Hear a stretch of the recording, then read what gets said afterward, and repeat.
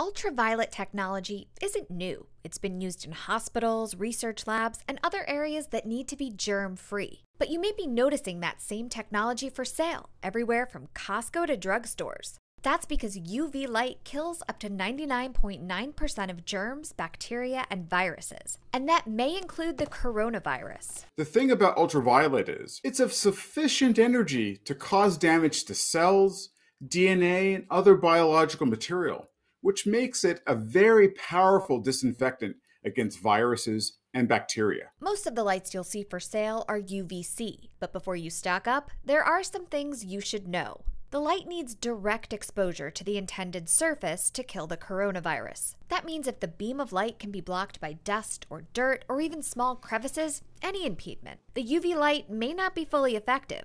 Also, many of the UV lamps sold for home use are low dose, so it may take a longer exposure to a given surface area to potentially provide effective inactivation of a bacteria or virus. Waving the light quickly over your countertops likely will not be enough. And because UV can burn eyes and skin, never ever look directly at it. Some devices turn off when opened, but if you own a product with an exposed UV lamp, never look directly at the light. This is Teresa Panetta,